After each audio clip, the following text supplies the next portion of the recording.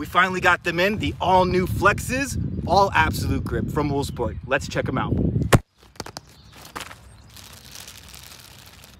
Check that out.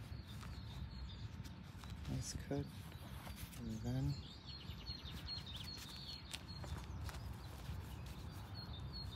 and we're gonna hold it up.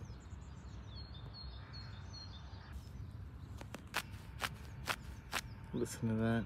We got a rolled right here on the outside. I love how thick this roll is.